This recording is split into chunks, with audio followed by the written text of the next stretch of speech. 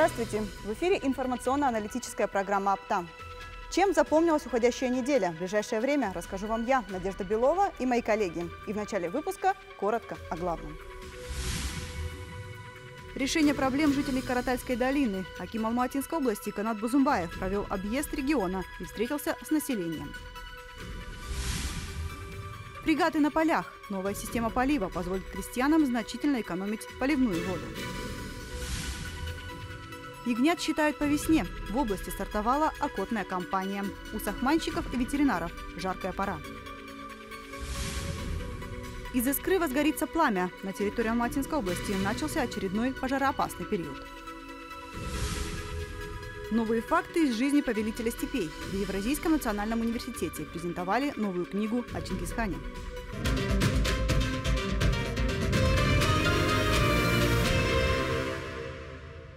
Актуальные проблемы населения на строгом контроле руководства области. Ведь своевременное реагирование на проблемы и вопросы значительно улучшит качество жизнедеятельности граждан.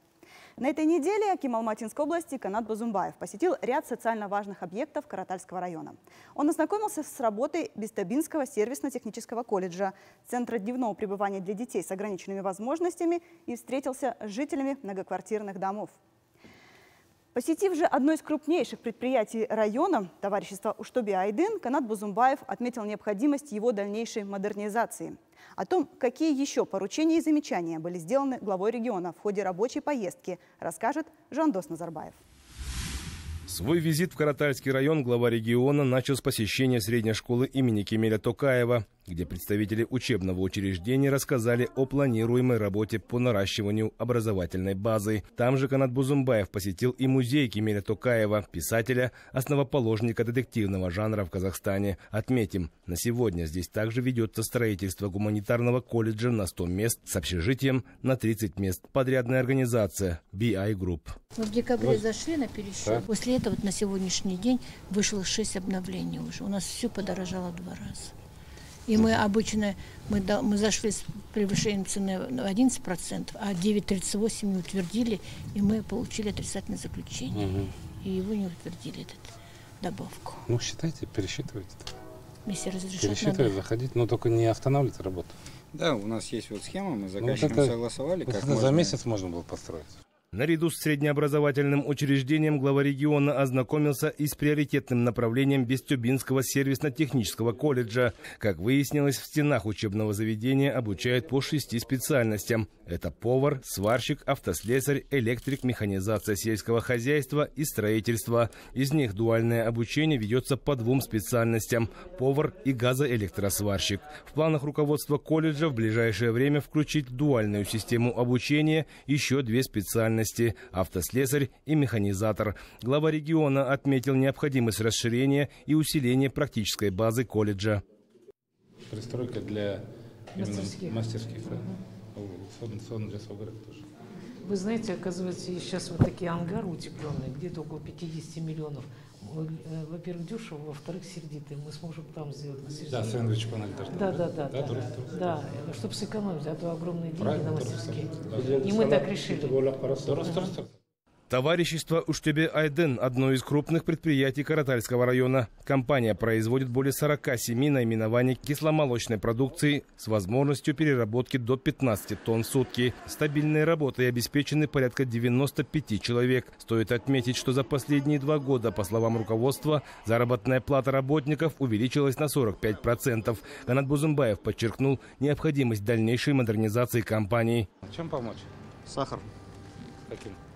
Мы производим мороженое единственное здесь, в регионе. И молочный продукт «Снежок», который идет у нас по договорам по госзакупке. Сахар нужен? Сахар нужен, сахара нет. Сколько с этим заводом законтрактуетесь? Поможем?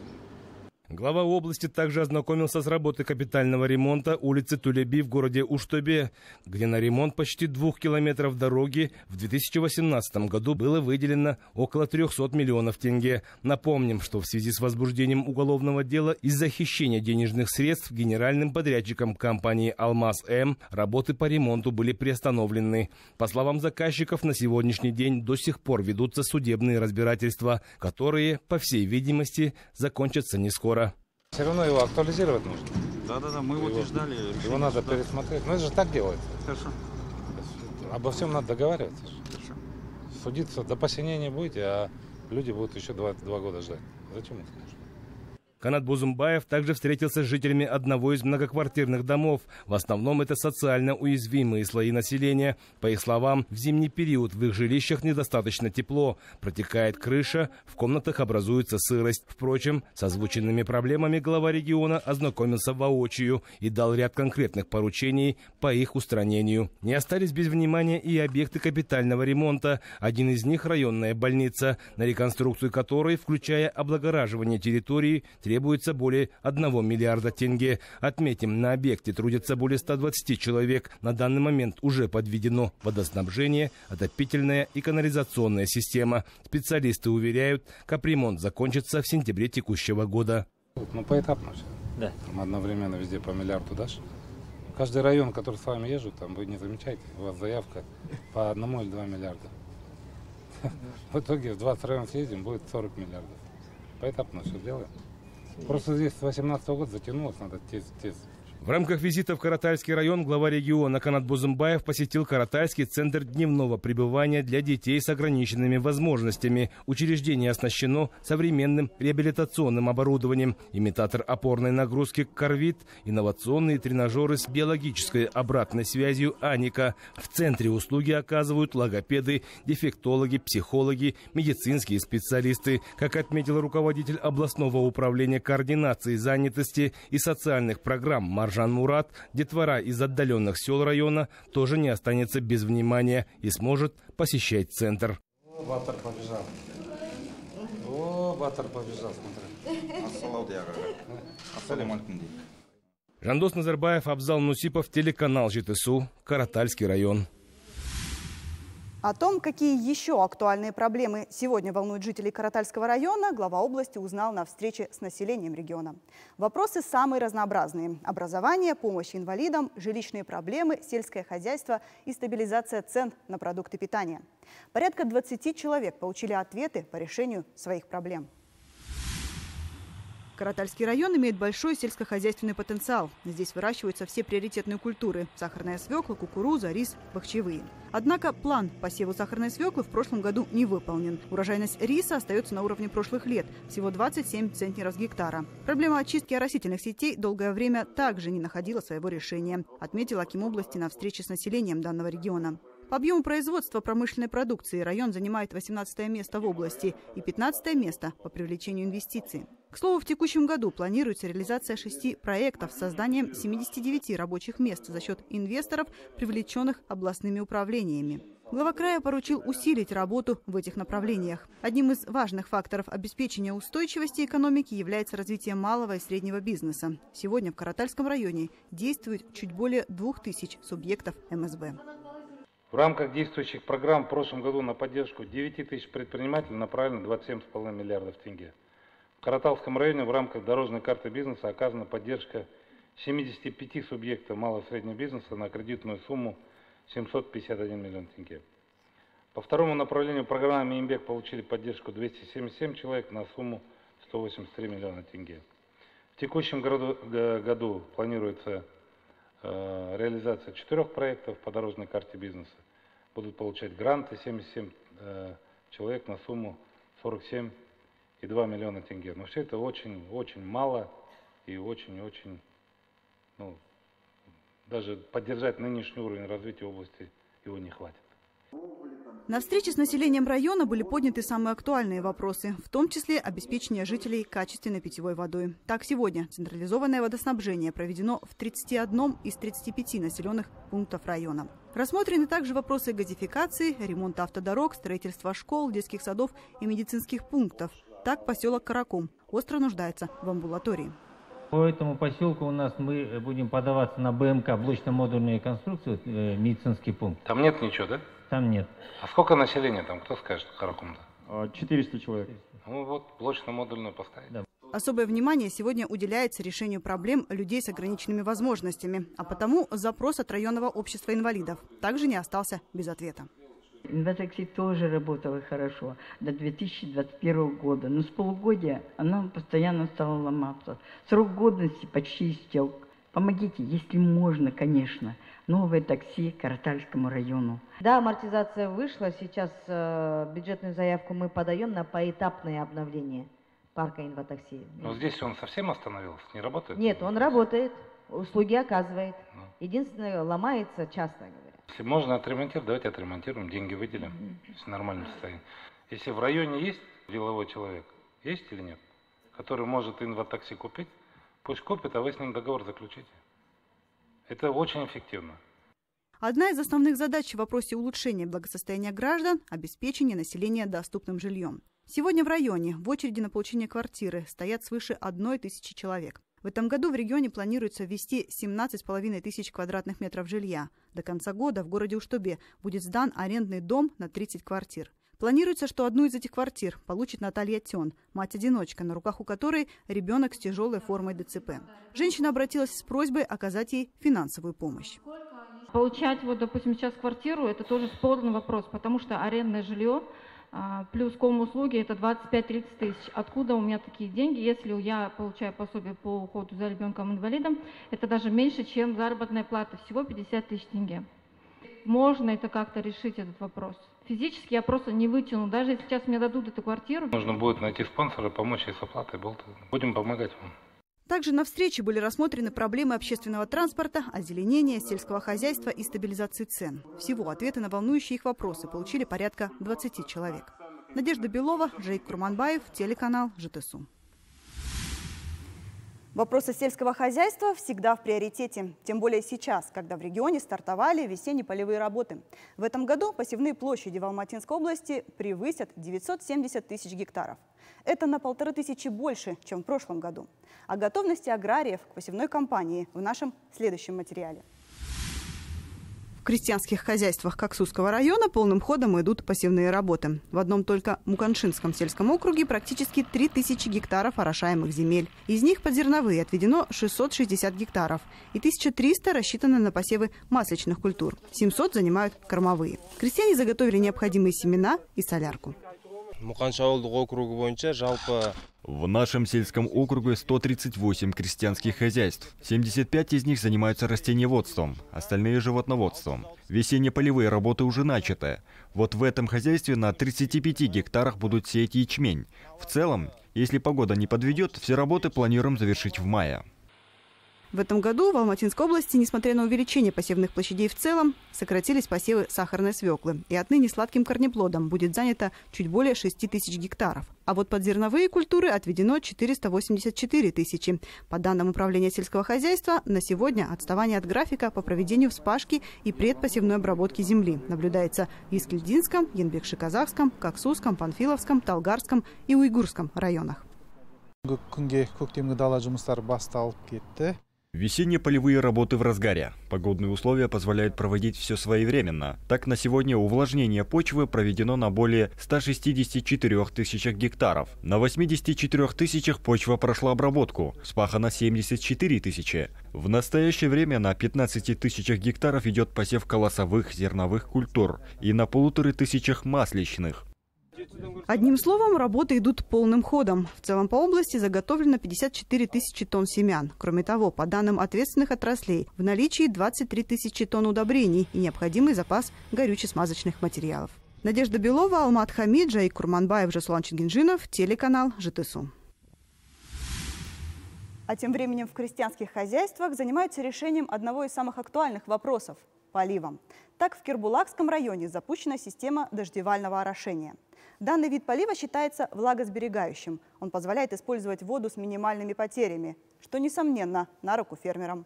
А потому крестьяне Кирбулакского района начали активное внедрение инновационного метода орошения. По поручению главы области его заместитель Алибек Жаканбаев лично проверил новую систему орошения. О преимуществах новинки фермеры рассказали и нашей съемочной группе. В Кербулакском районе проводится большая работа по формированию продовольственного и кормового поясов, внедрению дождевального орошения. В эффективности влагосберегающих технологий уже успели убедиться аграрии товарищества Козылшока. Устройство дождевальной машины «Фрегат», двигаясь по кругу, позволяет охватить площадь пассивных угодий до 50 гектаров. При этом вода проникает на глубину до 15 сантиметров. Мы установили 12 устройств дождевального полива для орошения 600 гектаров земли. Цена каждого устройства 42 миллиона тенге. Половина суммы субсидирована государством. Такой метод значительно экономит затраты воды. Еще одно преимущество – прямое добавление удобрений и гербицидов в систему полива. Всего в Алматинской области капельным и дождевальным способами орошается более 20 тысяч гектаров. Данная система уже доказала свою эргономичность. В этом году планируется установить поливные устройства еще на порядка 7 тысячах гектарах земли. Как известно, последние три года в области наблюдается дефицит поливной воды. Это негативно отражается на урожайности. В свою очередь, при поддержке Акима области мы оказывали посильную помощь фермерам, договаривались с сахарными заводами. Фермерам, выращивающим сахарную свеклу, выплачивается 30 тенге субсидий и за транспортировку 1 тенге. В этом году наряду с фермерами Кирбулакского района пять устройств дождевального полива установили и в крестьянском хозяйстве Жаппаркул Панфиловского района. С их помощью планируется орошать порядка 250 гектаров посевных земель. Айсулу Жандосова, Мади Бойбосынов, телерадиоканал ЖТСУ, Кирбулакский район.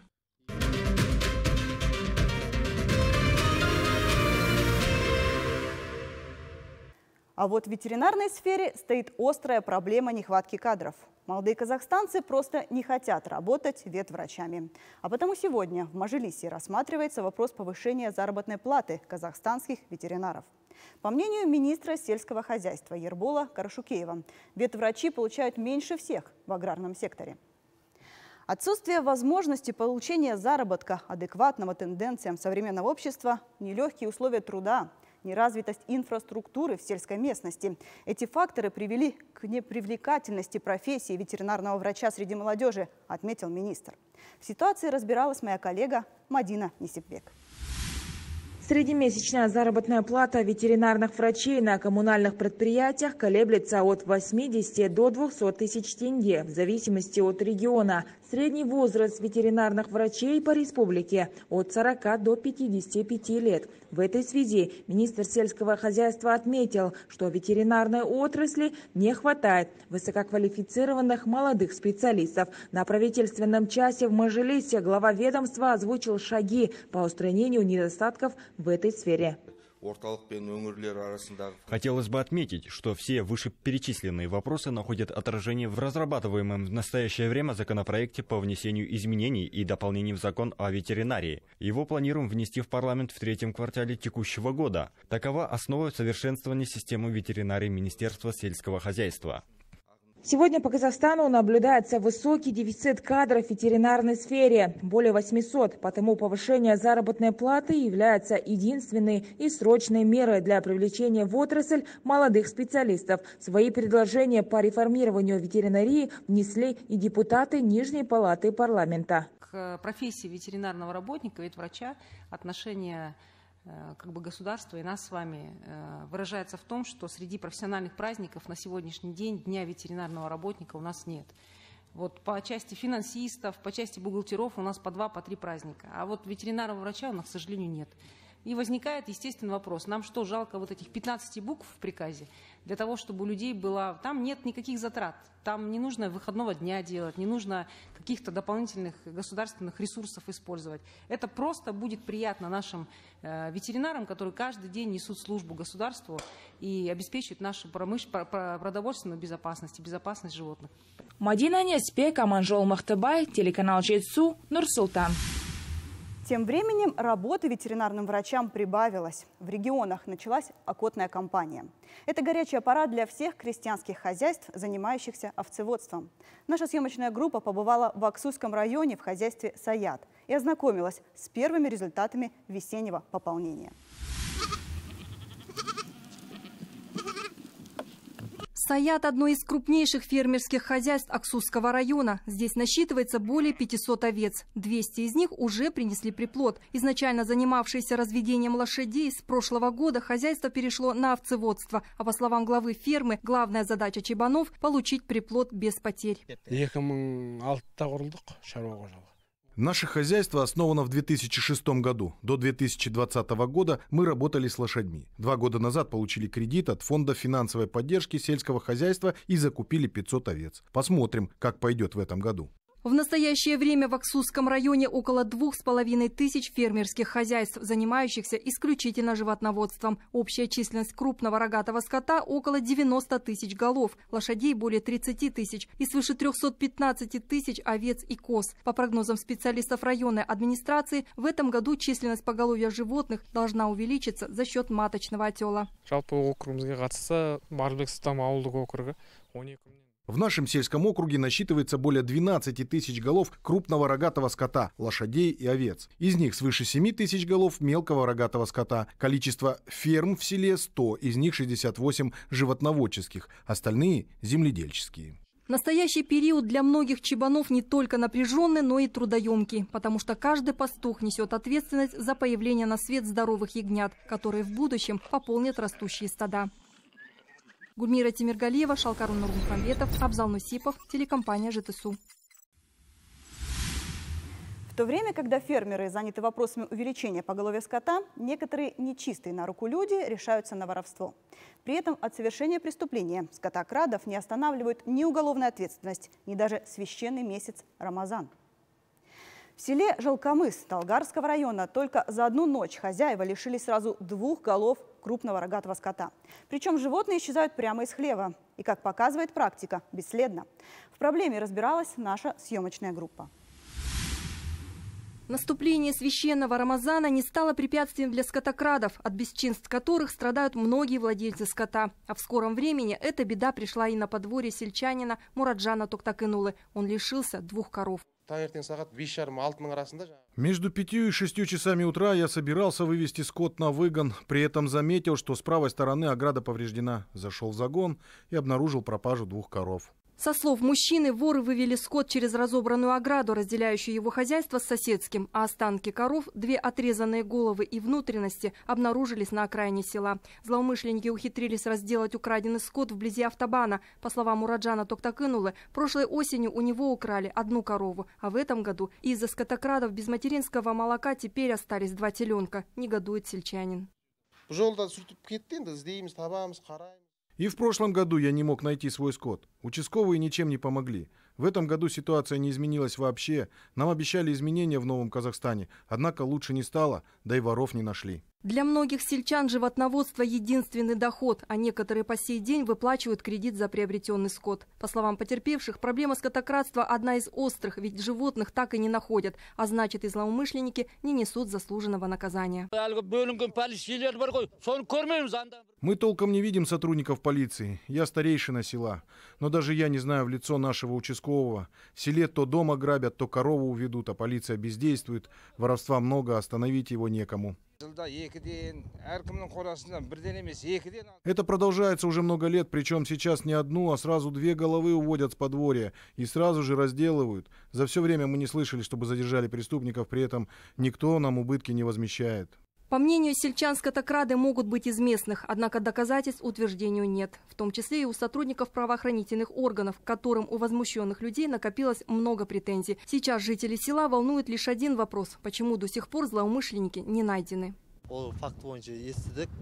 По этим фактам участковыми полиции ведутся разыскные работы. К тому же подобные случаи есть и в соседних аулах. Сейчас в 12 селах работает всего три участковых полиции. Хотелось бы, чтобы увеличили штат сотрудников. Их действительно не хватает на все населенные пункты.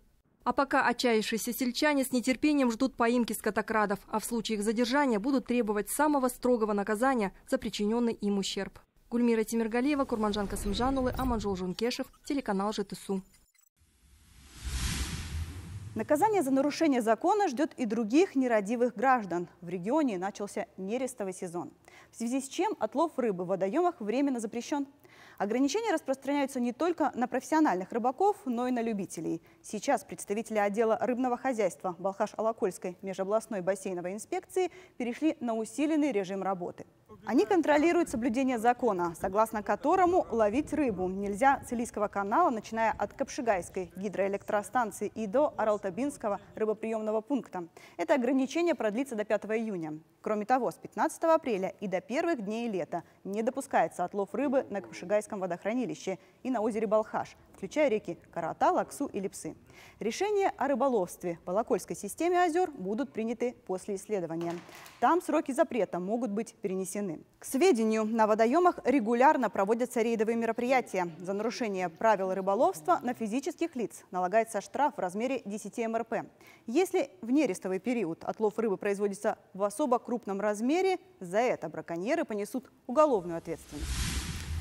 Однако браконьеров, судя по всему, такие запреты и ответственность мало останавливают. Рыболовецкие снасти можно увидеть даже в водоемах, где ловля рыбы запрещена круглый год. С нарушителями борются не только рыбинспекторы, но и волонтеры. Ежегодно в преддверии нереста они выезжают на водоемы, чтобы найти и уничтожить запрещенные средства ловли рыбы.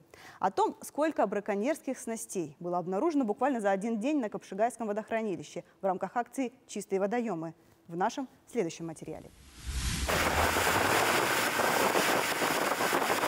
Волонтеры тянут сети, расставленные браконьерами. Улов самый разнообразный. От мелкой рыбки до достаточно крупной особи. Пойманную живность отпускают обратно в водоем.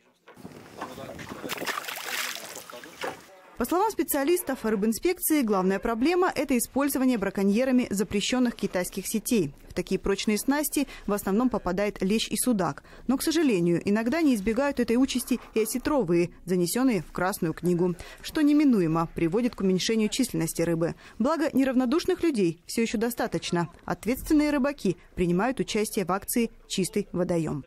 Буквально 15 минут, наверное, как на воде. Вот тут нашлась первая сеть, причем сеть именно запретная, китайского происхождения.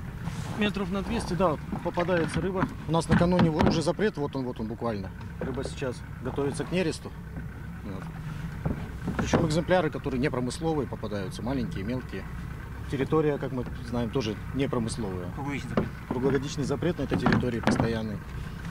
Но мы наблюдаем вот такое. Снасть чисто браконьерская, это не промысловая. Мы всегда с удовольствием принимаем участие в подобных акциях для того, чтобы э, нашу природу, наши богат, богатства природные э, сохранить хоть как-то, то есть и приложить все возможные усилия для того, чтобы нашим детям была такая возможность увидеть наши богатства, нашу природу э, и чистые водоемы. В течение нескольких часов волонтеры и защитники природы проверили водную территорию площадью 50 гектаров. В результате выловлено свыше 30 километров сетей, в которых обнаружена как живая, так и уже мертвая рыба. Собранные снасти будут утилизированы на полигоне. Для обеспечения естественно нереста рыб а, инспекцией проводится очистка круглогодично запретной для рыболовства зоны с участием а, волонтеров, то есть мастер лодок, полиции, Алматинской области, предохранной прокуратуры Алматинской области, э, также сотрудниками Национального парка Алтнемель. В настоящий момент э, в акции участвует более 100 человек, задействовано 25 лодок. Стоит отметить, что в прошлом году в ходе акции «Чистые водоемы» в Алматинской области было выловлено и уничтожено 3000 километров сетей. В этом году акция только началась и продлится до 31 мая. Надежда Белова, Коныш Сериканов, Самата Розалинов, телеканал ЖТСУ.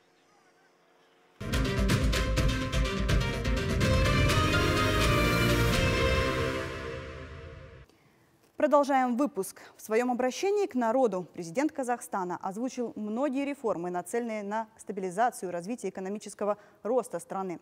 Одним из неожиданных изменений, которые непосредственно коснутся жителей края ЖТСУ, стало известие о разделении Алматинской области.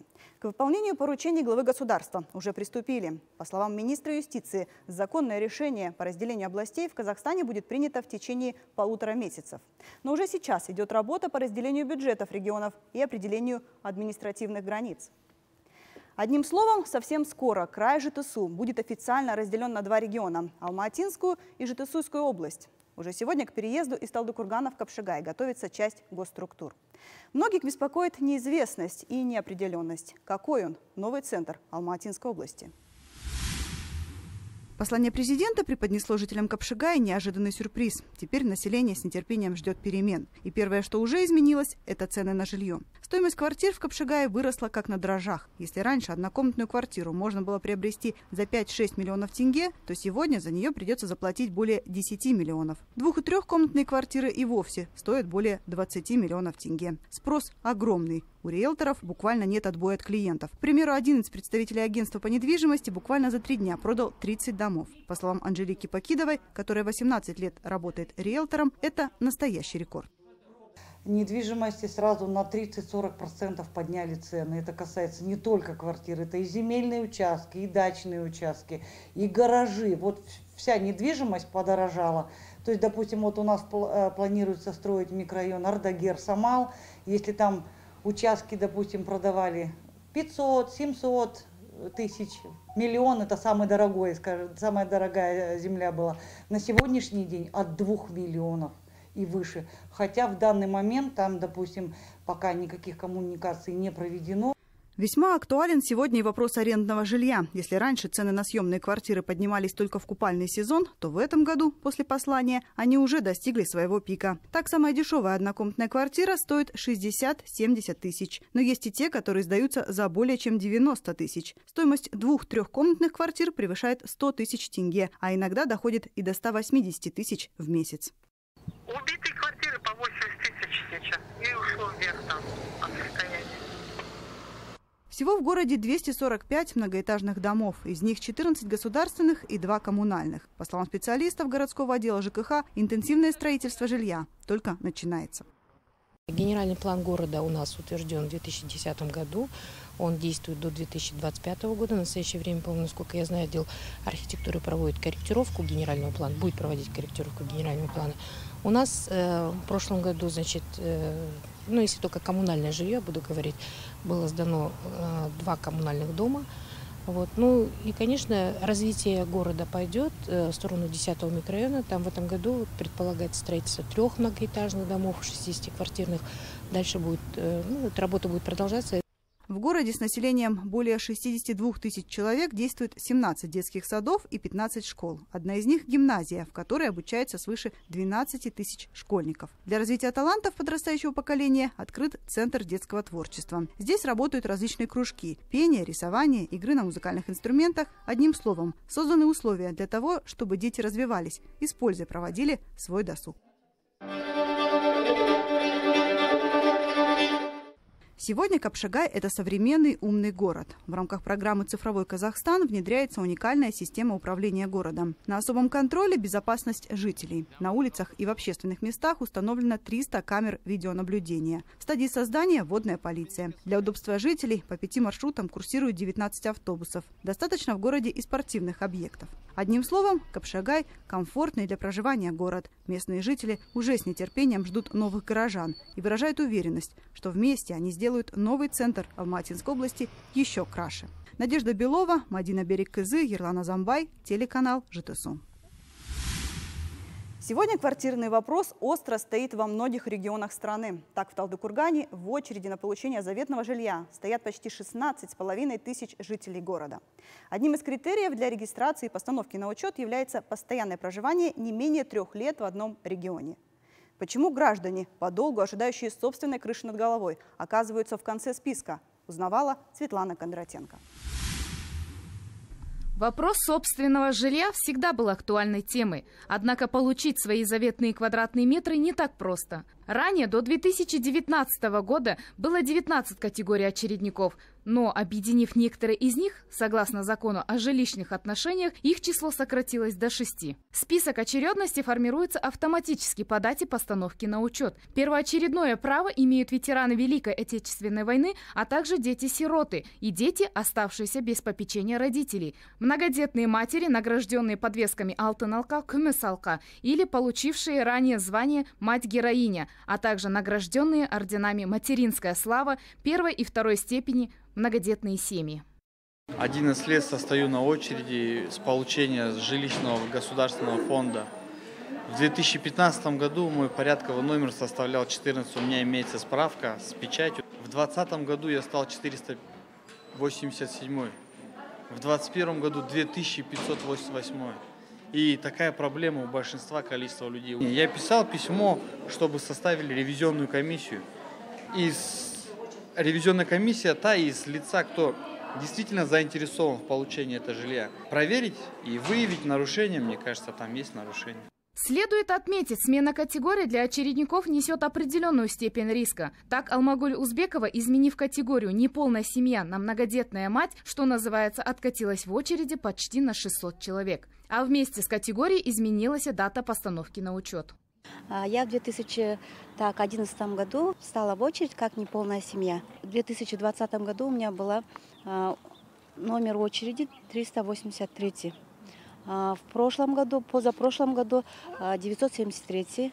А, а потом с каждым разом, сейчас я вот как многодетная мать, хоть и не полная семья, но все равно с каждым годом у меня очередь э, не, не вперед, ой, наоборот, назад продвигается. Например, э, перед Новым годом у меня была 979 очередь, а вот э, недавно на той неделе сходила, посмотрела, у меня 1011 очередь. Также в помощь гражданам создан специальный сайт kizikte.kz, где можно не только подать документы в онлайн-формате и вносить корректировки, но и просматривать очередность и других граждан.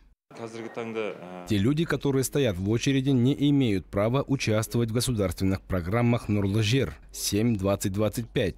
Свой дом, то есть Акимат, никого не ущемляет в своих силах строить 40-60 квартирные дома. Социально уязвимые слои населения, которые живут в бедности, им предоставляется арендное жилье без права выкупа, а другим лицам предоставляется кредитная или ипотечная программа. При превышении одного прожиточного минимума, который на сегодняшний день составляет 111 тысяч тенге, в этом случае гражданину будет отказано в жилье без права выкупа. Тех, чьи очереди находятся в конце, призываю к спокойствию. К началу мая мы планируем исправить списки очередностей.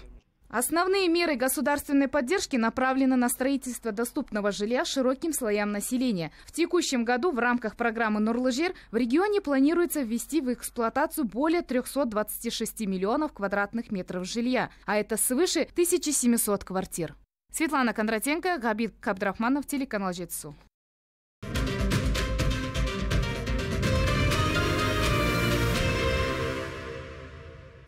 К другим темам. Не секрет, что с наступлением долгожданного тепла многим не терпится выбраться отдохнуть на природу. Но здесь главное не забывать об элементарных правилах безопасности. Ведь в самом разгаре сезон клещей. За медицинской помощью после укуса клеща в этом году уже обратилось порядка 90 жителей Алматинской области, а потому в парках, скверах и дворах начаты работы по дезинфекции. К слову, обработку от клещей проводят в течение 10 дней дважды в год – весной и в начале лета. По словам специалистов, чтобы вредители не привыкали, препараты меняются каждый сезон. В районах края ЖТСУ дезинфекционными препаратами уже обработано 125 тысяч гектаров. Профилактические мероприятия стартовали и в Талдыкургане. О правилах проведения весенней обработки и ее необходимости смотрите далее.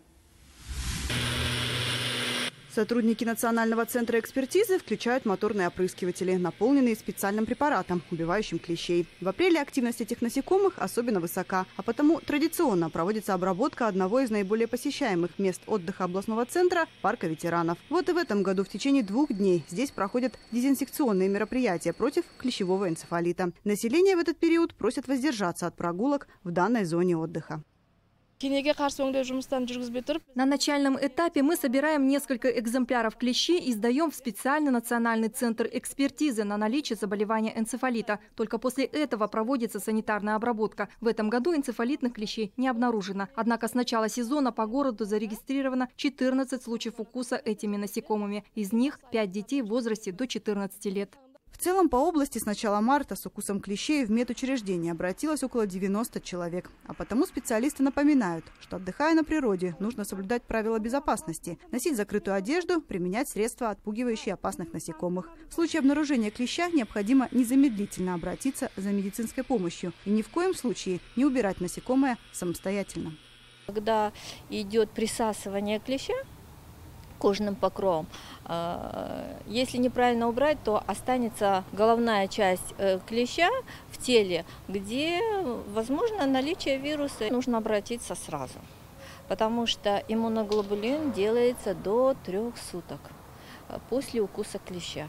Поэтому чем раньше вы обратитесь, тем э, ранее сделают вам э, эту иммунопрофилактику, и тем быстрее выработаются антитела, которые будут защищать э, человека от заболевания.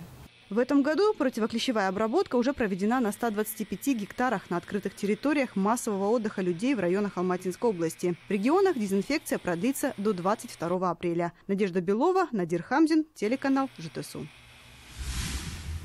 Во время отдыха на природе важно не забывать и о правилах пожарной безопасности. Возгорание сухой растительности может привести к губительным последствиям. Пожароопасный период в области начался уже в конце марта, а потому сегодня вовсю проходят пожаротактические учения.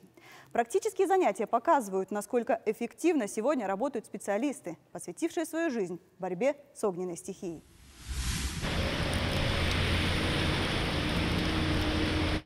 120 гектаров условно объятых огнем потушили за 15 минут. Такой оперативности способствует специальная схема оповещения и взаимодействия экстренных служб. В их число входят не только звенья профессиональных пожарных и специалистов лесничества, но и добровольное формирование из числа местных жителей и специальных служб. Для ликвидации условного пожара задействовали различную спецтехнику и 30 огнеборцев.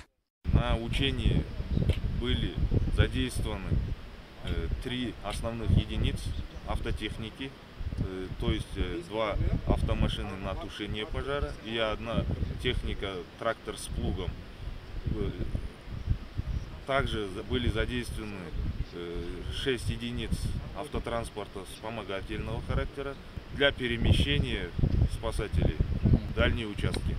А для рейдов в лесостепных массивах и других труднодоступных местах был привлечен конный патруль. Стоит отметить, что с начала текущего года уже произошло три пожара на территории лесного фонда Алматинской области. Площадь возгораний составила 15 гектаров. В 50 случаях огненной стихии был объятый сухой травостой.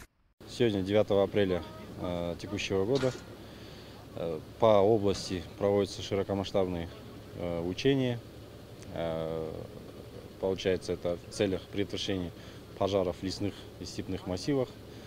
А, вот сегодня мы приехали в Вискельдинский район, так как здесь значительная часть а, лесных массивов находится а, в данном районе. Следует подчеркнуть, что поставленные цели перед брандмейстерами были достигнуты в максимально короткий срок, однако в жизни каждая минута обходится очень дорого. Поэтому в пожароопасный период специалисты призывают соблюдать правила пожарной безопасности в лесостепных массивах и не разводить костры. Амирова Гульдана, Надир Хамзин, телеканал ЖТСУ, Ескельдинский район.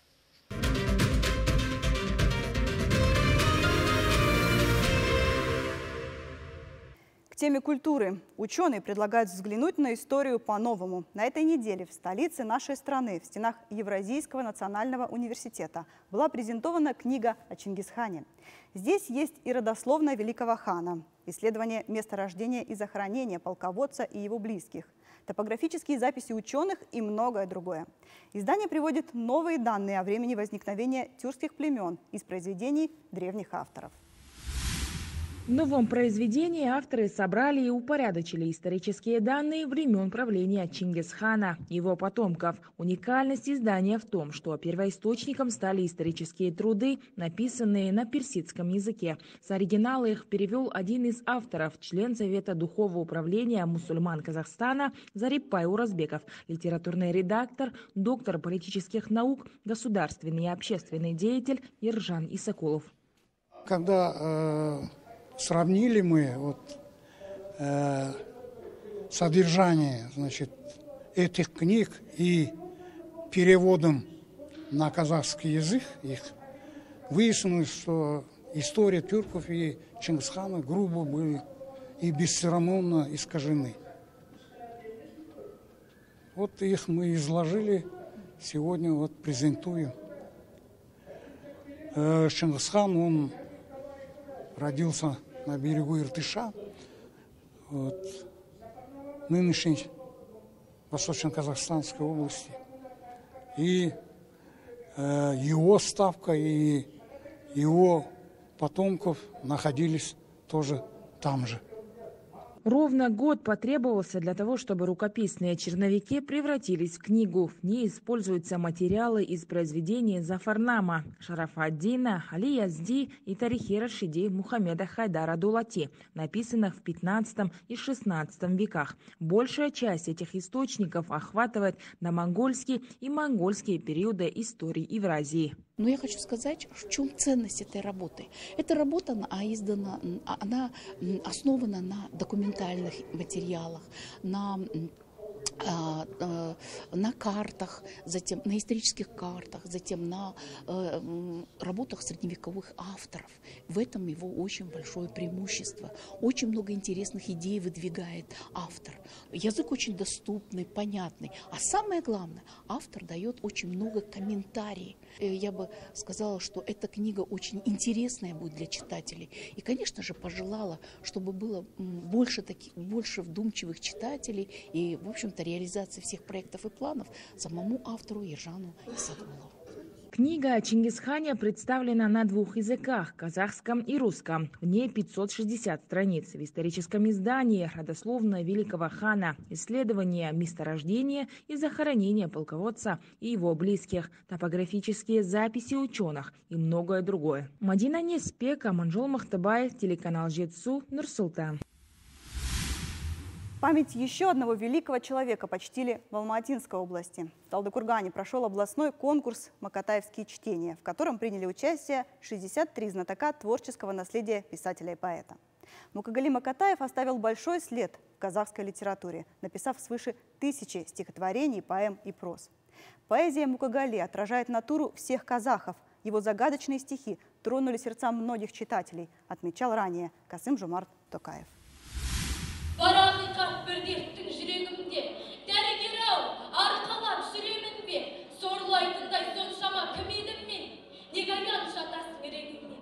Это стихи поэта Мукагали Макатаева. В этих строках автор со своей душевной болью обращается к врачу. Они созвучны нашим мыслям и переживаниям, затрагивают самые сокровенные уголки человеческой души. На стихах Мукагали Макатаева выросло не одно поколение казахстанцев. Его лирикой увлечена и сегодняшняя молодежь.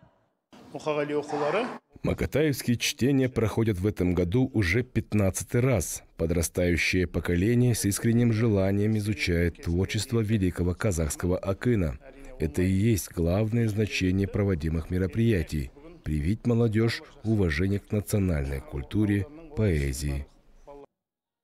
Правила творческого конкурса ежегодно меняются. В этом году он проходил в три этапа. В первой части оценивалось количество стихотворений в копилке претендентов. Во второй и третьей – сценическая культура и стиль. Каждый из конкурсантов приложил все усилия, чтобы защитить честь своего региона.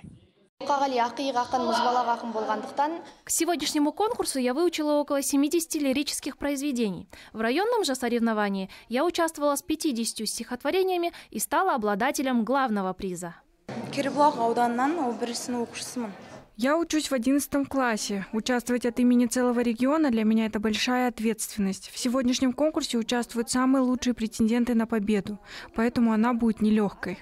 Жюри обращало внимание на артистизм чтецов, на глубину проникновения в образ и передачу смысла текста, а также на соблюдение выступающими речевых норм. По итогам конкурса тройка лучших по трем номинациям получила путевку на республиканскую гонку. Это участники из Уйгурского, Талгарски и Имбекши-Казахского районов. С 14 по 16 апреля ребята будут защищать честь уже Алматинской области. Мадина Неспек, Айзада Уразалы, Илья Сапарбек, телеканал Жетсу. Это были все события уходящей недели. Оставайтесь на телеканале ЖТСУ. А мы прощаемся с вами ровно на одну неделю.